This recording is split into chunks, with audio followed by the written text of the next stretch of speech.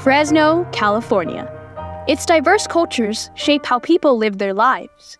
A big part of culture comes from the language and the stories we share to connect with one another. Theater has been a big way of storytelling for centuries and has been utilized to express ideas and imagination, forever providing entertainment and escape.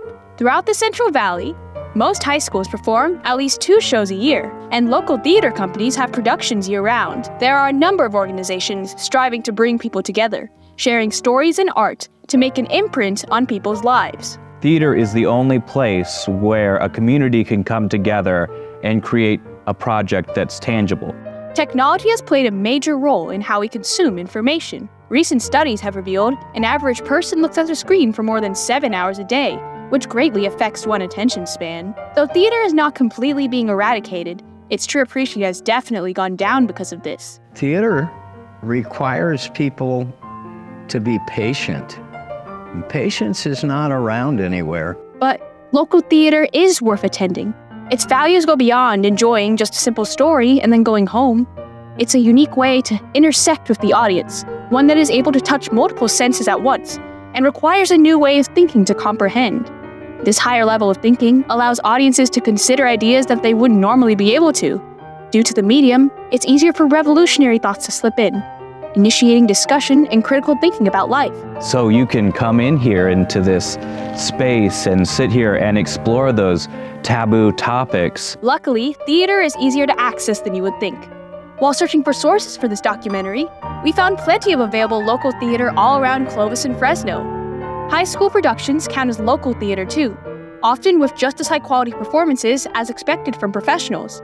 Colleges too always have performances, and Good Company Players recently had its 50th anniversary. These performances are being promoted on social media and spread by hanging posters in classrooms and making merch. It's a word of mouth thing. People tend to go where they hear someone else has enjoyed it. In all aspects, theater can create long lasting connections among people and allows them to find life in stories where reality fails them. With increased promotion of local productions, it's clear more and more people are attending shows.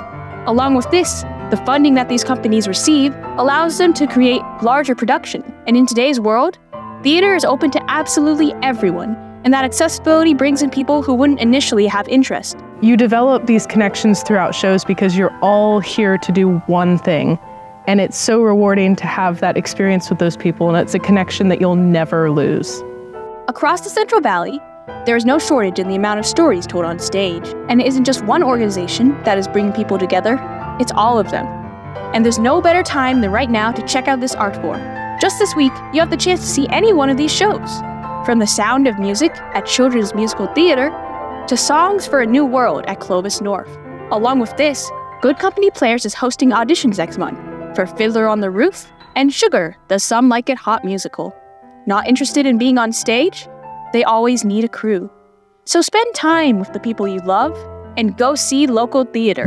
Getting to work with all of those different people has really opened my eyes to what works, what doesn't work, and ultimately what's the same, what's the common thread throughout what makes good theater. And I think there's this unspoken language again, this way that we communicate with each other, that we can all be on the same page while being in completely different parts of the Central Valley, which I find just really interesting.